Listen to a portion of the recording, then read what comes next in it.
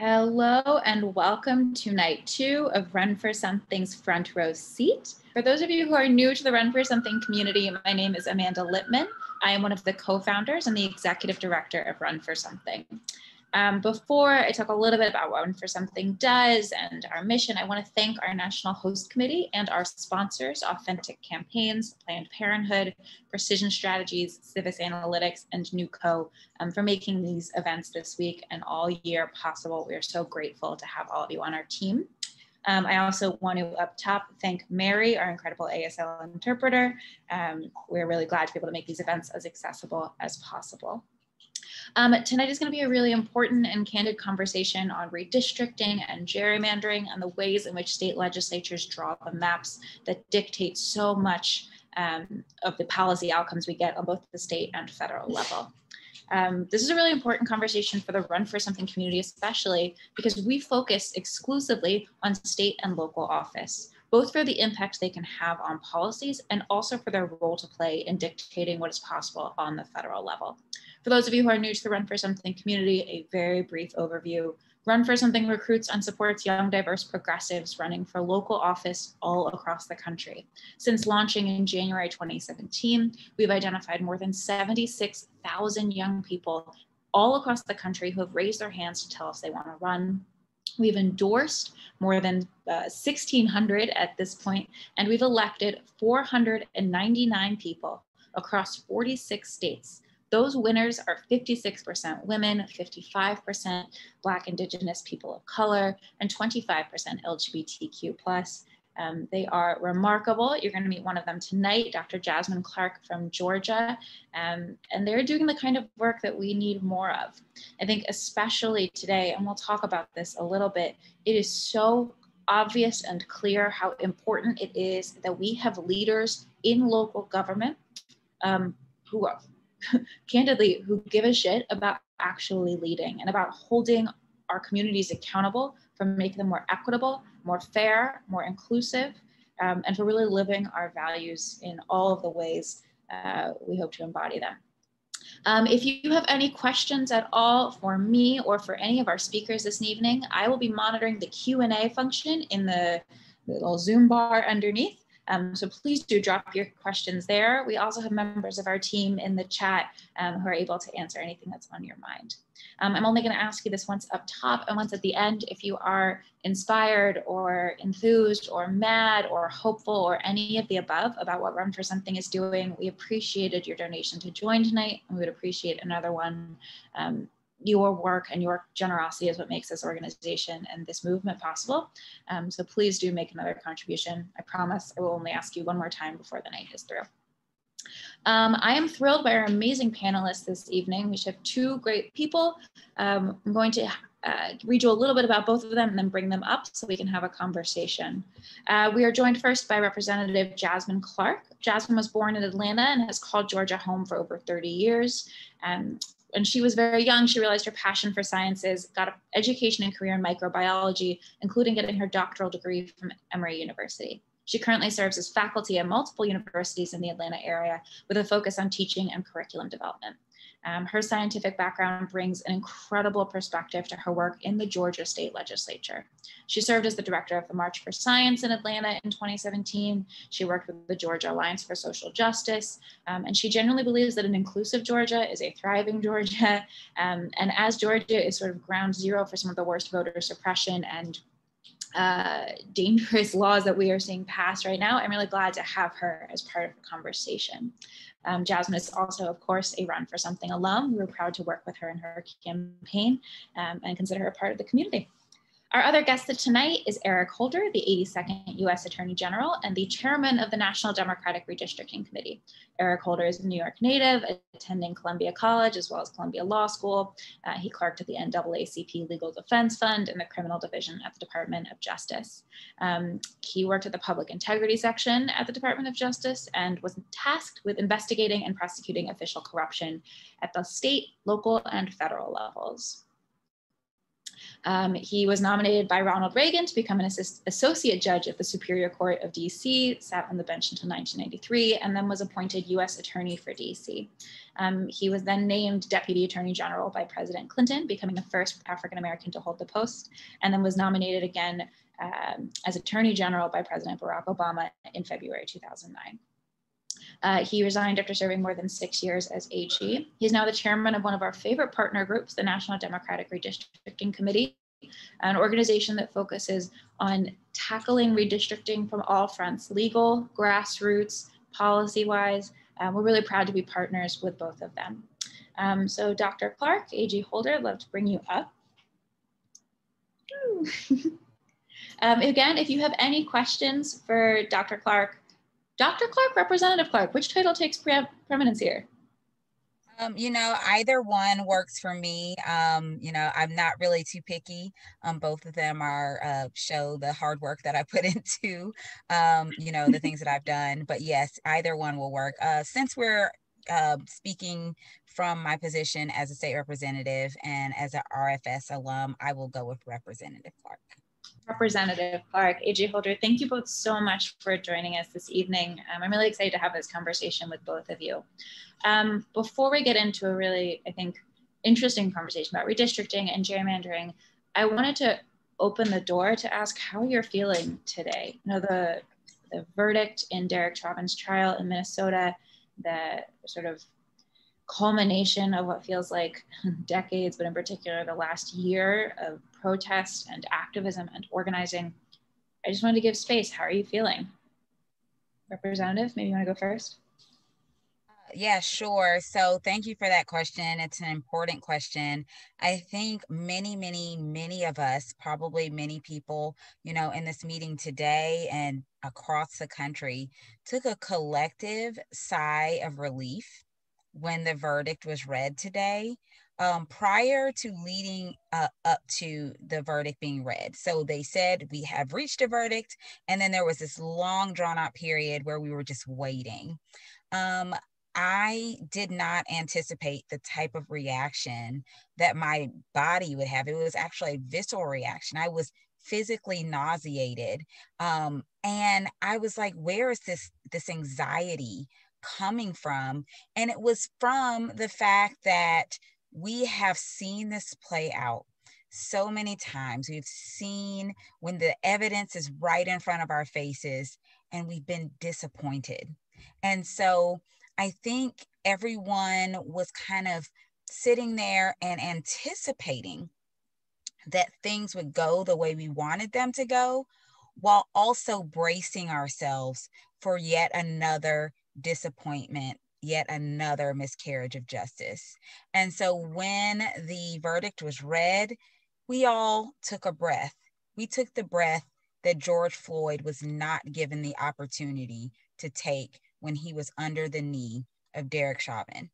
And so, um, you know, this is one of those things where, you know, the fact that we all did take a collect the fact that we were all on pins and needles about something that we all saw with our own eyes is a um a testament to to how a lot of us view our justice system and how we don't necessarily trust that justice will be carried out i think this is the beginning um, true justice means that George Floyd is still here today to raise his daughter and to be with his family and to eat dinner with his mom.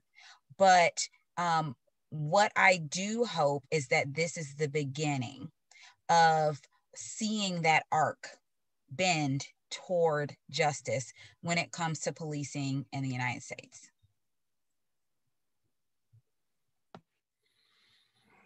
Yeah, well, you know, I'd say that um, I felt, I think, like Representative Clark, a certain sense of relief.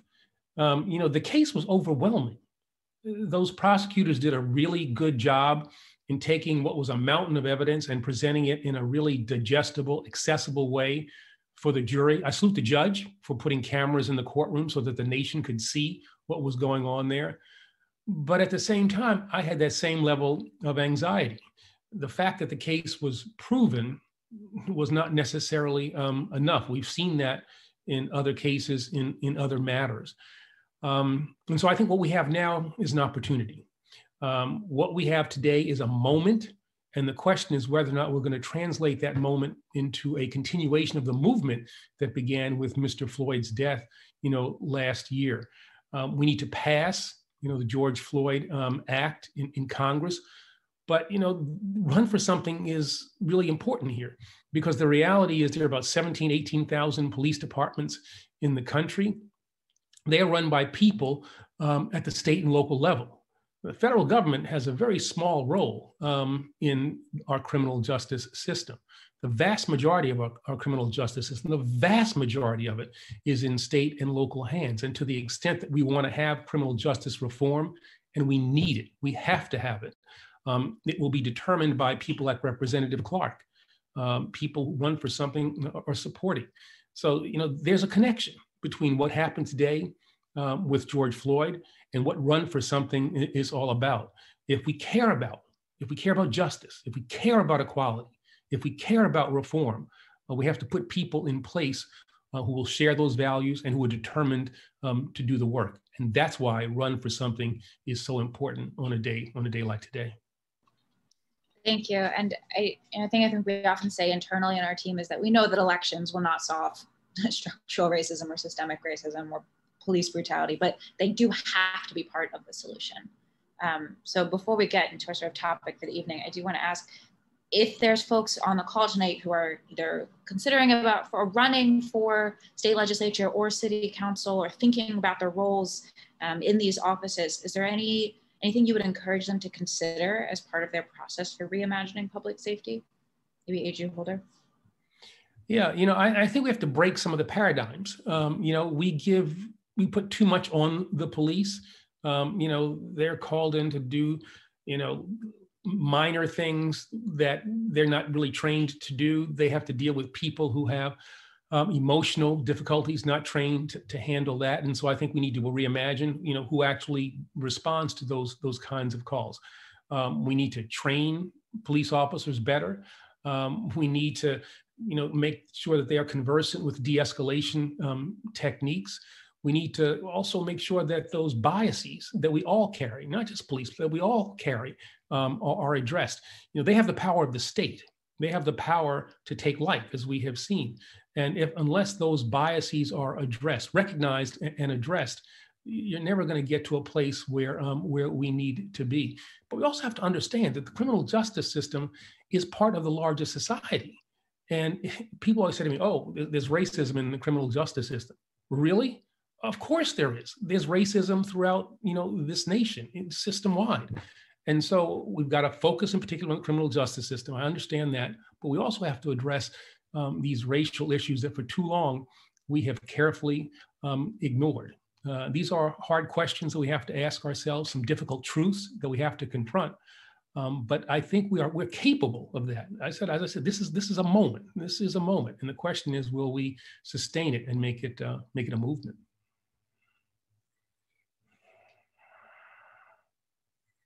Representative, anything to add?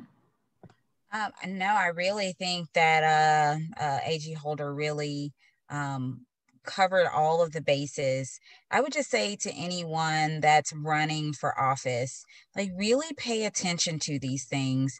Number one, if you do feel like you have a heart for reform in criminal justice spaces and you really want to see change, don't be afraid to step out there and run for office. As AG Holder said, these things are decided at that local and state level. So we need uh, people in our state legislatures. We need people on our city councils and our county commissions that actually care enough to want to do something. And we don't just need one or two, we need a lot of you all because, uh, you know, right now, I can say for Georgia, it looks like we're turning back the clock on criminal justice reform and going in the opposite direction. And it only happens because there are people in place that do not see the um, the value in criminal justice reform and they want to go back to this tough on crime, lock everyone up and throw away the key style of uh, governing that is, or, or of, of justice that um, we have already shown doesn't necessarily work um, for society. And there's better ways to do this. And so we need you to run for office because we need people who actually care in those seats. Thank you. Thank you both for, for your thoughtful um, suggestions for people thinking about running for these positions. Um, I want to turn to the topic for the evening because um, I do think we could have hours and hours of conversation about criminal justice reform and, and police brutality and all that. But I do want to focus tonight on the topic at hand, um, which is redistricting and gerrymandering. Um, before we dive in, um, AG Holder, can you, for folks who might be confused about this process, what these words mean, how, you know, level set a little bit so we're all using the same vocabulary? Sure. Well, let me let me just say this. I mean, people always ask me, you know, what is gerrymandering? And I mean, I'll get a little into a little in, in a bit. But here's the truth. Just remember this: these three words: gerrymandering is cheating. Gerrymandering is cheating. You know, what happens is that politicians handpick the people who live in their district. Uh, they decide who their voters are going to be in their districts instead of letting the voters choose, you know, who should represent represent them. Uh, every 10 years, the United States conducts what is a, constitutionally mandated thing, a census. Um, part of that data, um, the, the, it's called the apportionment data, is used to determine how many congressional seats and therefore how many electoral college votes every state is going to have. Um, the states then go back, use the census to redraw their congressional districts as well as their state legislative districts based on how the population has changed over the course of the previous 10 years. Now, in this, in, in theory, this should be done to draw districts that are you know, representative of the people living in the state in terms of partisanship, racial and ethnic groups, urban and rural voter, voters, you know, those kinds of things. Uh, gerrymandering happens when politicians manipulate the maps for partisan gain or to dilute the vote of, of a specific group. I mean, if you take a step back uh, and you look at, look at a state like Ohio, uh, you see Republicans there have drawn a congressional map that gives them 12 of the state's 16 congressional seats, you know, 12 to 4. That's a state that's kind of a 50-50 state, and it's, it's a 12 to 4 state. I mean, among those among those districts is that, you know, that that brain brainchild, Jim Jordan. I mean, his district is one of the most egregious gerrymanders in the country, and it looks like actually looks like a duck. Um, but that's the kind of politician that you get from um, gerrymandering, because when districts are drawn to favor one party, the result is hyperpartisan representatives in Congress as well as at the state level. And at the state legislative level, the most gerrymandered legislatures are, are passing the most radical bills on everything from reproductive rights to discriminatory, you know, anti anti-voter laws. So again, gerrymandering is cheating. It's the drawing of lines in such a way to favor one party over the other without any relationship to, uh, to principle um, or, or constitutional norms. And representative, from your perspective inside the state legislature, you, know, you haven't started the redistricting process yet, but you're getting close. What is the vibe like around that on your end? So um, it's a really good question. Right now, this will be my first time having to go through this process. Um, and so I am bracing myself. I think I've heard so many horror stories about what can happen, what has happened, that I just want to make sure that whatever is the outcome of our redistricting process is fair. Um, in Georgia, we uh, do not have independent redistricting like some other states do. Um, instead, the party in power really has the power of the pen when it comes to drawing lines.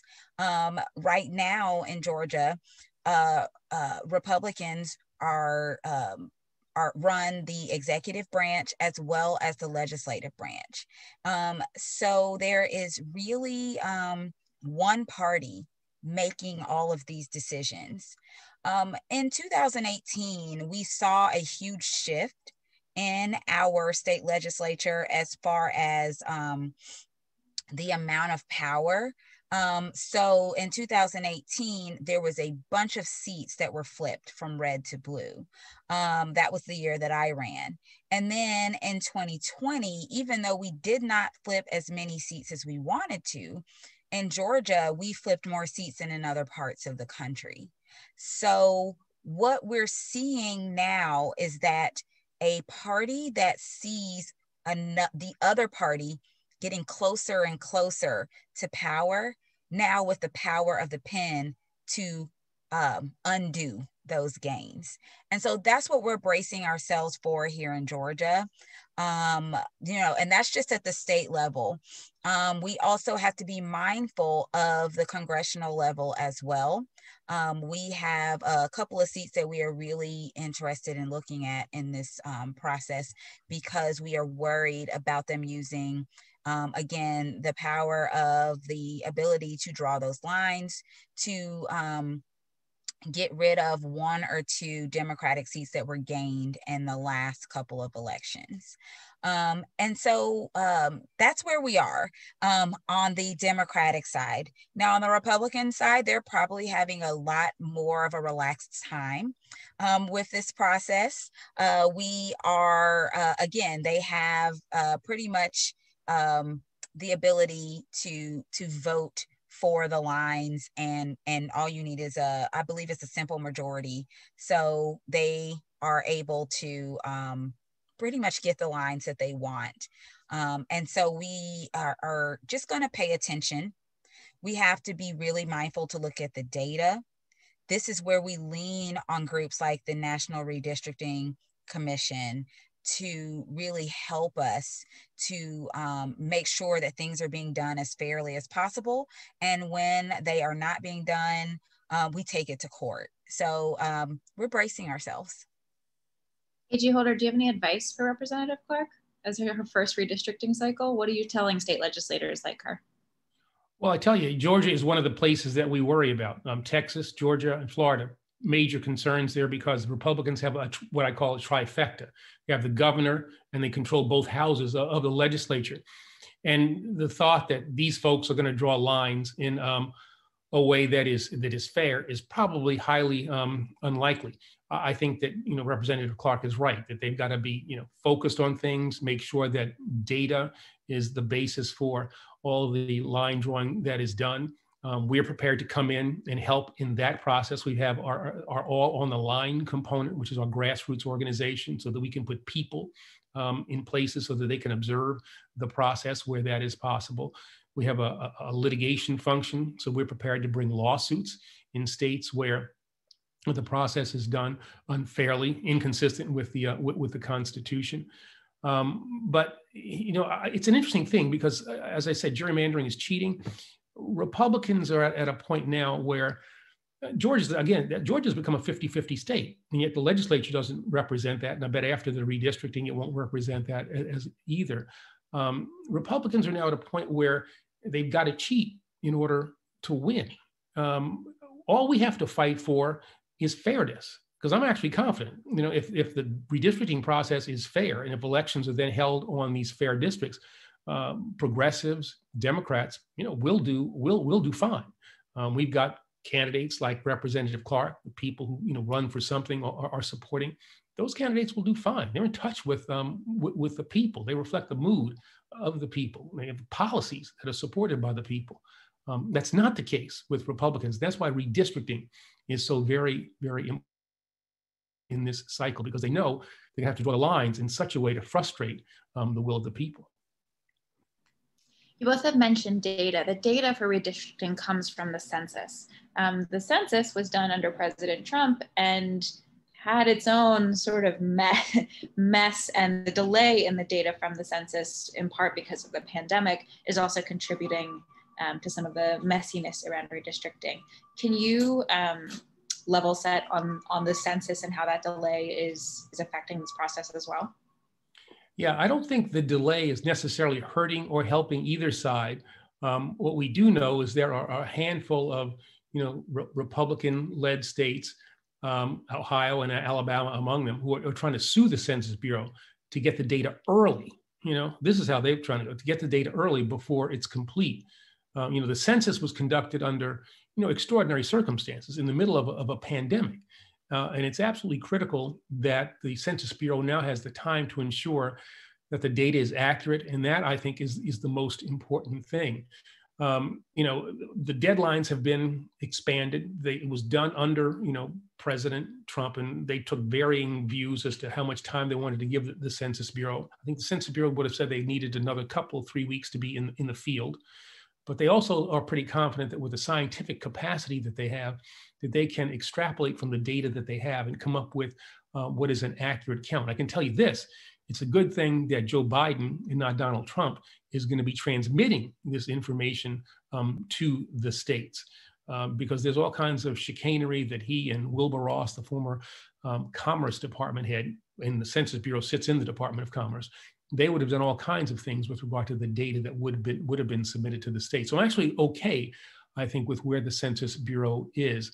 Uh, we should get that data in terms of that, that, first batch of data, and then we'll get the, the more granular stuff in, um, in, in September. But I think we're going to be okay um, when it comes to the census, though we always have to care about, and Representative Clark will have to, you know, do this at, at her level to make sure that although the Census Bureau, I think, is generally going to do a good job, that when it comes to undercounts, um, we make sure that people of color um, are counted um, effectively, and that can happen at the state level. States have a have a role to make sure that what the federal government is doing um, is correct. And again, we want to make sure that, in particular, people of color um, are adequately um, counted and then adequately um, represented.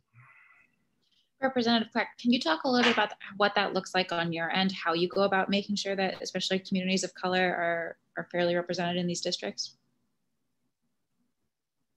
Still muted, my friend. I think I am. All right. Yes. So uh, when it comes to that, we are really, really, really, really putting a major focus on this entire process. We are doing trainings every week to really understand ourselves what all goes into this process. We have had a history lesson on redistricting. We have learned about the numbers, about uh, you know the projections as far as uh, whether or not we'll pick up seats. The the the current uh, prevailing theory is no. Georgia will not pick up any seats, uh, congressional seats. You know we are we're learning about the process, and so that's step one because I think as we go out into our communities and make sure that everyone is represented, that the counts are accurate, and that our communities of interest are not um, divided up during this process, um, that uh, we know what's going on. Um, and so then step two is actually going out into the community and making sure the community understands what's going on and making sure the community understands why it's so important for people to get uh, or for people to be counted. Um, the uh, consequences of undercounting are tremendous for certain communities. So we want to make sure that everyone is counted. It's not just a, um, it is about representation. Of course, we want everyone to be counted so that everyone is fairly represented, but we also um, want to make sure that funding is going into the right parts of our state. And redistricting does play a role in that as well. And so after we get this information to the community, we are going to have a special session.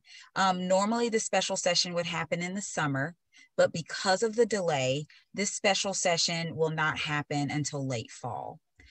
This does present a little bit of a challenge for people who are considering running for office because right now people are considering running for office, but may not necessarily know where those lines are going to end up as far as what seat they're going to be running for. So you kind of have to make some assumptions that you'll be in running for the same district that you live in now.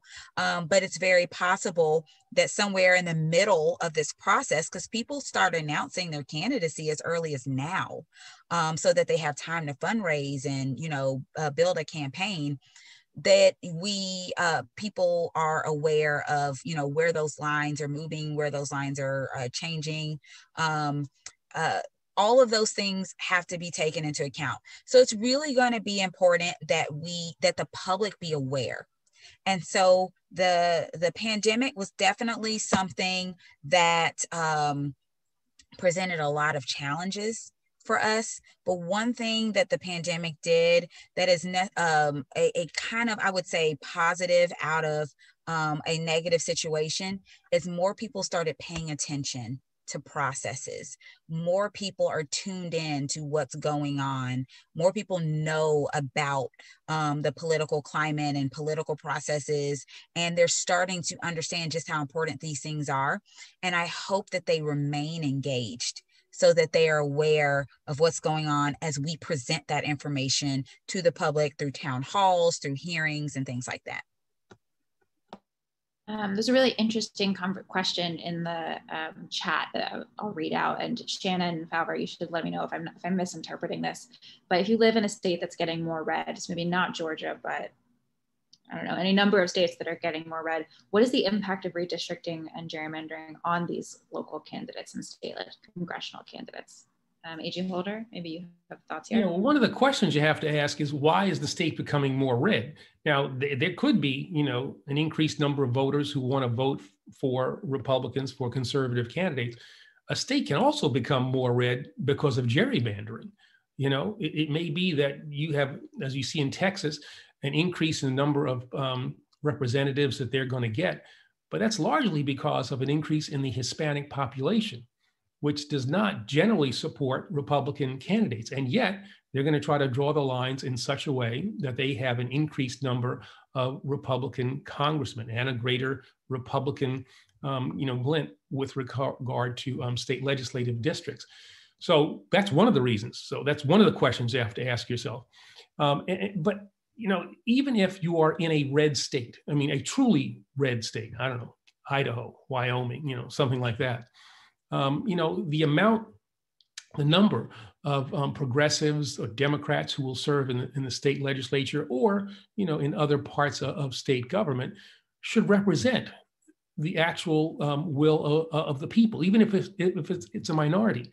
You know, it, it's a real difference if 10% of a city council or a state legislature is progressive, democratic in an overwhelming Republican state, as opposed to 30%, 35%. Um, and so just because you're in a red state doesn't mean that you shouldn't be fighting for all the things that democracy is supposed to give to all of its citizens the right of self determination. And a larger minority is much more effective than one that is um, unfairly cut, cut back in, in, in size.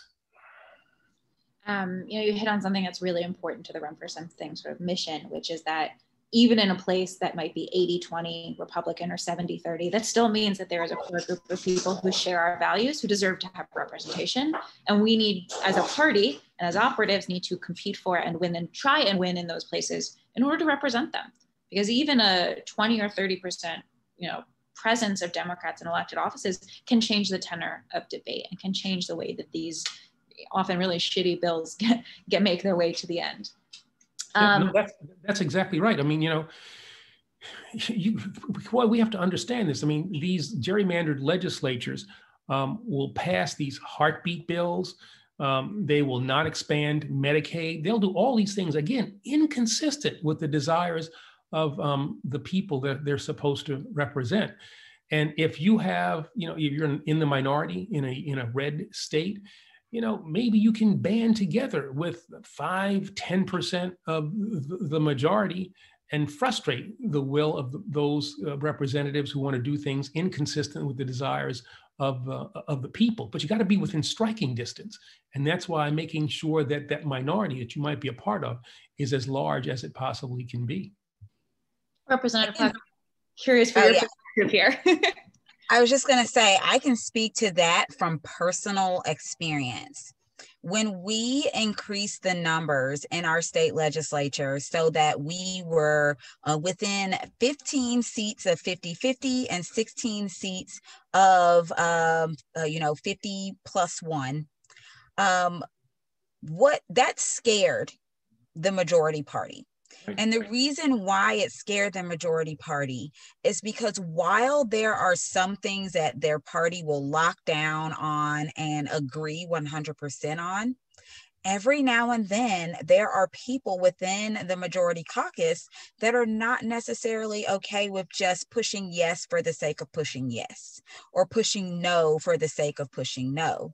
And so every now and then you have some that will caucus or will, you know, join with Democrats and say, no, I'm not for this. Um, you know, no, this is overreach and I don't like this. Or no, the people in my district actually said they wanted this. So I have to vote for it. And so the closer you get, the closer we get as we inch closer and closer to that 50% mark, the more, uh, the easier it is for us to find enough people in the majority party to, to side with us. Um, and so we've seen it. We have killed some, not all of them, but we have killed some bad bills because we uh, were able to get a few Republicans on our side. Um, uh, Eric Holder mentioned the uh, heartbeat bill. While that did pass in Georgia, um, it barely did. I mean, we were this close. And it, to think that if we had just picked up um, one or two more seats, that wouldn't have even passed at all. And so then you go back and you look at, at the election and you say, there should never be an opportunity for anyone to run unopposed because you just don't know what's going to happen. And in this case, if we had picked up one or two seats, we wouldn't be fighting um, as hard to stop um, this bill. And we've seen it um, with other bills as well. We've actually been able to kill some bills because we get enough people on our side in the majority party that says, you know, this isn't really right. Um, and so uh, that is a good point, and that is why people should run because your win could be the difference between a bad bill uh, going down or a, a good bill um, being passed. Um, your presence could be that different, even if you are in the minority party. You know, and I think Representative Clark makes a really important point. We have got to have our people running in every possible election. You know, you can't have a wave at the beach unless you've got water. We can't have wave elections if we don't have candidates running for every position state, local, federal. Every, every um, spot that is up for an election, there should be a Democratic progressive challenger for that, that seat, whatever it is. So, you know, again, that's why run for something is so, so vitally, vitally important singing our song. Um, I'm curious, AG Holder, if you can give us a little history lesson. How did we get to a place where Republicans have so much control to redraw these maps? Can you take us back a little bit and explain how we got here? Yeah, we just well in this most recent cycle, I think you go back to um, the 2010 election. If you remember that after um, President Obama was elected in 2008, the reaction to that um, election was the disastrous midterm election of 2010. Remember, he described it as a shellacking, um, and it happened, unfortunately, just the year before um, we went through the redistricting process. Uh, and so you had in place then from the 2010 election, um, people, large, you know, substantial number of Republicans who decided to use that power to try to gerrymander themselves um, to make sure that they stayed in power and to even expand their um, their ranks through the gerrymandering that they went through in, in 2011. So the the that disastrous midterm election of, of 2010 put in place the Republicans who did the gerrymandering in 2011, and the impact of that has been felt, um, you know, for the whole decade. I mean, if you look at like Wisconsin, where on a few occasions uh, Democrats have gotten more votes than Republicans. I think in the last cycle, like 51, 52% of the votes, and yet have about one third of the seats in the Wisconsin state legislature. And that's all a function, all a function of the gerrymandering that was done in 20 in 2011.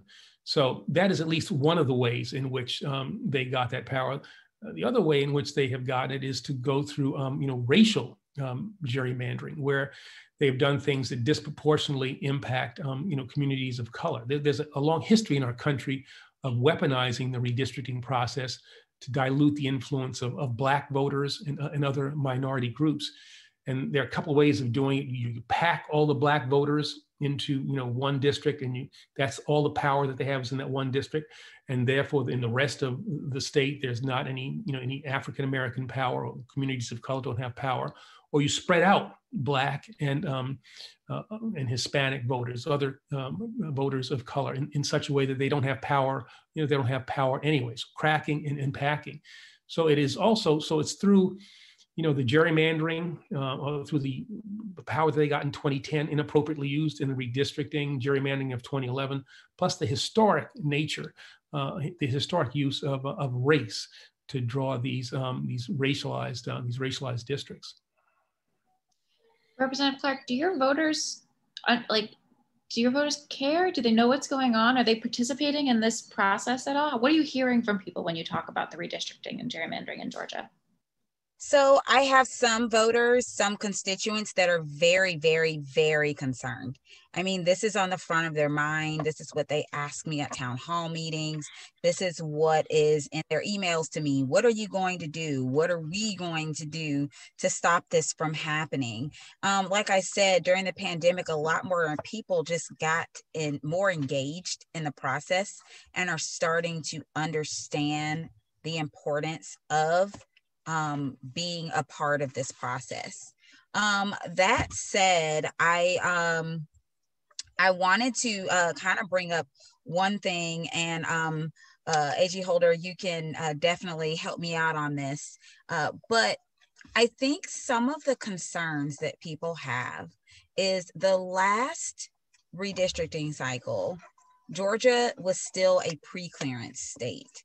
Um, the Voting Rights Act of 1965 had a provision that said that certain states that have a history of not being good actors when it comes to uh, you know elections um, and voting rights they need a little bit more supervision by the department of justice for um, you know uh, just to simplify it um, well, then in 2013, the Supreme Court, you know, got this bright idea that we're in a post-racial society where we've all learned our lessons and racism is not a thing anymore. We elected a black president twice, so clearly everything's all good. Let's get rid of that. Um, and if this last legisl- legislative session was any indication of what Georgia will do post pre-clearance, um, we have to be very careful because we see that they have absolutely positively no problem passing laws that will disenfranchise certain voters more than other voters. And without that uh, enforcement and that oversight by the department of justice um, i really am concerned uh, that they will continue down this road.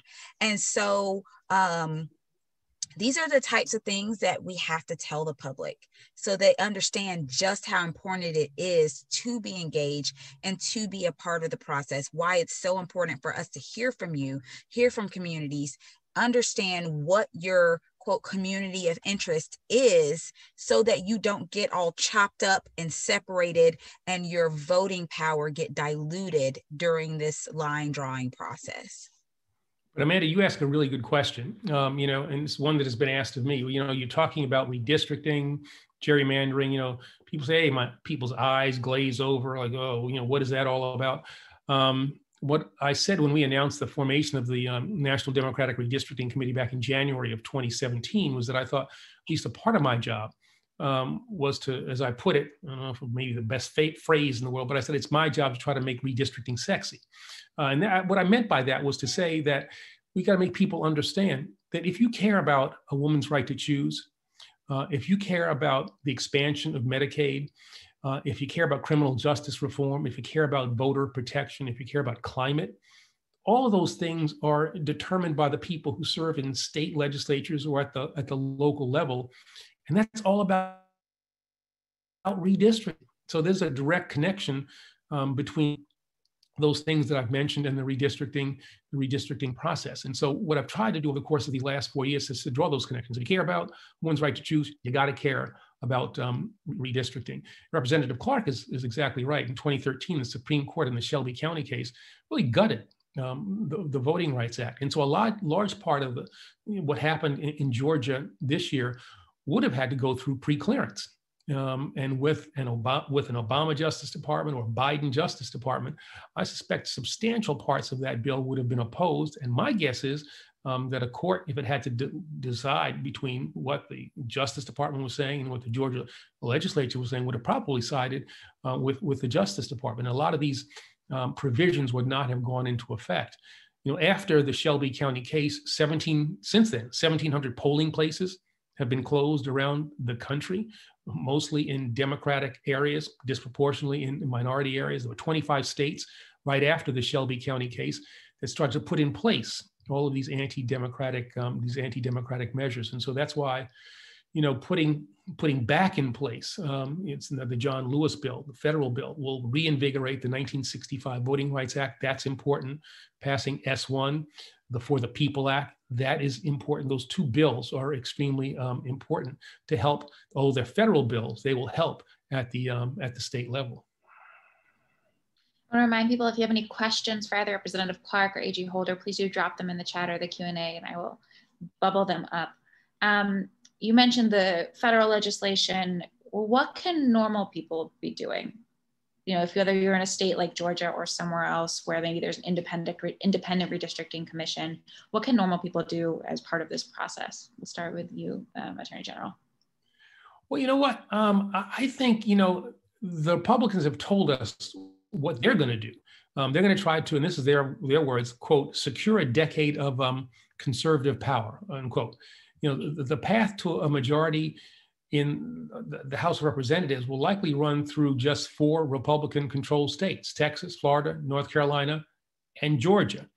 Um, these states are going to be gaining probably a combined maybe six seats through reapportionment. They're going to have a combined um, uh, 96 congressional seats for the next decade. Um, so I, I, you know, I think our best chance again is to fight fight back is to, you know, pass the For the People Act, uh, which would require the use of nonpartisan commissions to draw congressional maps.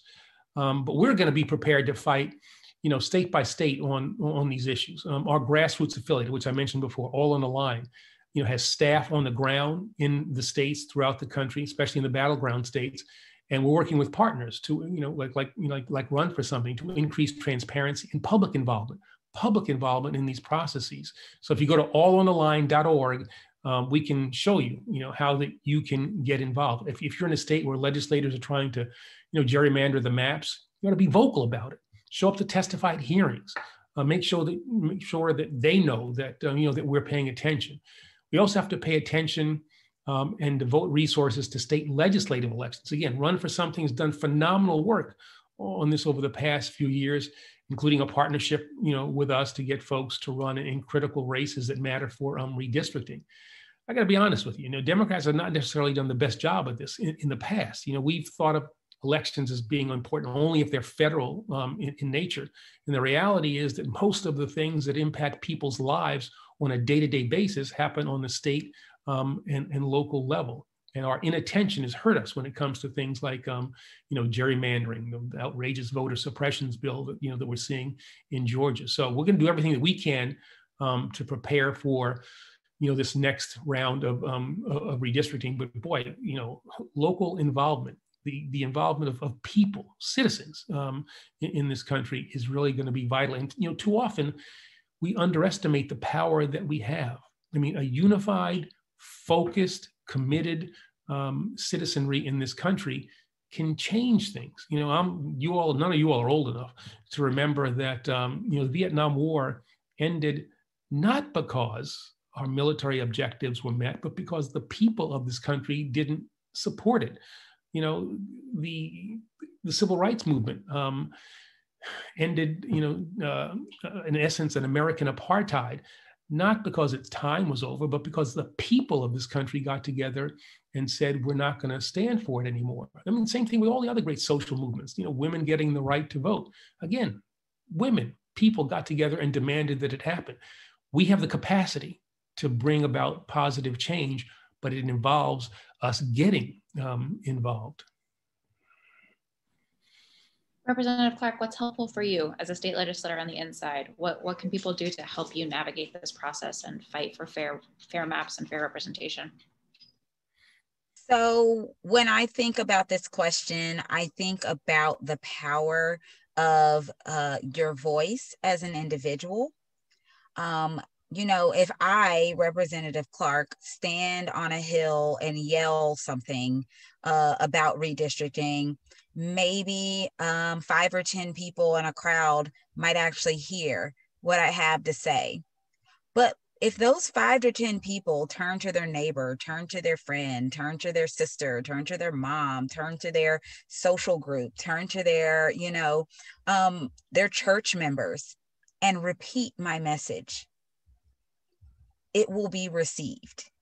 So it is very important that the people who are here tonight don't keep this, don't make this the best kept secret. Um, don't hold it in, don't keep it to yourself. Tell someone and then tell them to tell someone and then tell them to tell someone. It's very similar to what we say during elections. You know, when we say, you know, don't just vote, but make sure five of your friends or 10 of your friends also go out and vote and tell them to make sure that 10 of their friends also vote. This is the same thing. We have to be conduits of information so that people know what's going on, so that they can pay attention, so that if they feel compelled to run for office and try to change things, they know how. Tell them about run for something.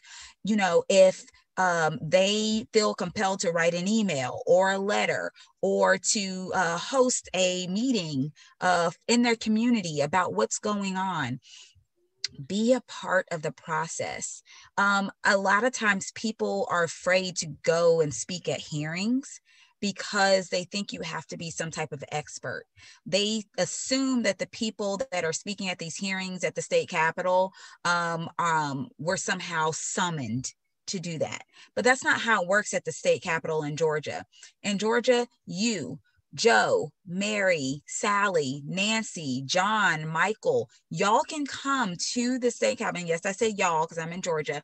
You can come to the state capitol, sign up and speak about what this process means to you and what these lines are doing to your community. If you feel like these lines are unjust, you don't have to be some type of expert on this uh, topic in order to make your uh, feelings known on the record. And so uh, that's what we need to do. We need to use our voices. We need to use the power of the people. I love what Eric Holder said about how a lot of things that have changed over time in our society have not just changed on their own. It was powered by people who stood up and said, enough is enough we need to do something. And so if we see injustice in this redistricting process, or if we see that our communities are about to lose the ability to truly choose their representation, if they are if their political voice is being diluted by being um, chopped into pieces or or if their political voice is being packed into one area so they only have a little bit of representation when they really should have two or three representatives at the state capitol. Say something. Say something to your neighbor. Say something to your friends. Say something to your family. And then say something at these hearings that occur. Say something to your representative about how you feel about this process. Yeah, I'd also say that in addition to what Representative Clark said, you know, you got to be her. You know, Jasmine Clark became Representative Clark. You know, if you would ask people in Georgia, let's say the middle of 2019, when people were making, you know, political decisions, that you said, well, you know, Warnock, yeah, you ought to run for Senate. Ossoff, yeah, you ought to run for Senate. Joe Biden, you should contest Georgia. And, you know, you could win that. People might have looked at you like you were crazy. And yet here we are, two senators, Democrats won um, Georgia at the at the presidential level, and so you know have faith in yourselves. So certainly get engaged in the process, but also have faith in your individual capacity, both to influence things as a citizen, an active citizen, but also have faith in your capacity to win, to win. You know, you know like I said, Representative Clark is an impressive young woman. I'm not sure she ever thought, you know, coming from you know, when she was a kid, she was going to be um, a politician, you know, representative. And yet here she is. She had that faith in herself. She took that chance, you know, she took that chance.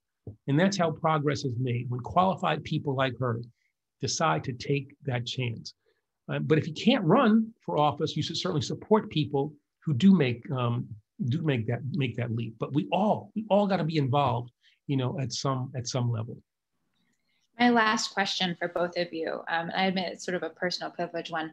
When I think about the redistricting process and look ahead to what the next decade looks like, I get so demoralized because it often feels a little hopeless. And I know that's part of the goal of the Republican Party here is to mm-hmm. make me feel hopeless.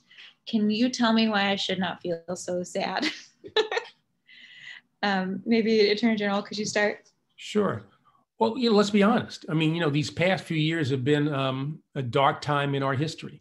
You know, despite winning the presidency, um, you know, last fall, we're still in a fight to protect and strengthen our, our democracy. You know, what's given me hope um, is kind of what we've talked about. You know, the civic activism that we've seen going on in this country. You know, people are waking up to the reality um, that the only way to fix a broken political system is a movement. You know, and you think back, really starting with the Women's March, uh, January of 2017, there's been a sustained effort to ensure that we live up um, to our, our, ideals, what we say we're all about uh, in, about in this country. You know, whether it's the kids, um, you know, from Parkland High School, the teachers. Remember the teachers who went on strike, um, the rallies that popped up last summer after yet another, you know, black man was killed by the police. Um, you know, we have seen an outpouring um, of Americans who want our leadership to actually reflect the goodness and the decency of the American people. So I think we're making progress, but we're not yet where we need to be. So we got to keep up the hard and yes, it's the sometimes frustrating work of, um, of making progress. You know, Dr. King said that the arc of the moral universe is long, but it bends towards justice. But here's the deal: it doesn't bend on its own. It only bends when people um, like you put their hands on that arc and pull it towards justice. And so that's the job for um, for all of us. If we stay committed, if we stay focused, if we stay supportive of one another, there's nothing that we can't accomplish. You know, it's going to be hard. It's going to be difficult. Um, but guess what? We do hard. We do difficult. We win. Um, and so that's what I would say. You know, um, you know, Dr. King is revered and justifiably so. But the civil rights movement didn't proceed in a linear fashion. It wasn't success upon success upon success upon success. There were there were defeats along the way, and I'm sure he got down, you know, at times. But he fought. He fought through that um, those negative feelings and converted it into um, positive action. And so we must do that um, again. Again, that arc doesn't bend on its own. It only bends when we put our hands on it, pull it towards justice, as we have done in the, in the past. So civic activism, I think, is the antidote to um, you know civic depression. No need to be depressed. We need to be angry. We need to be focused. We need to be active. Representative, final words.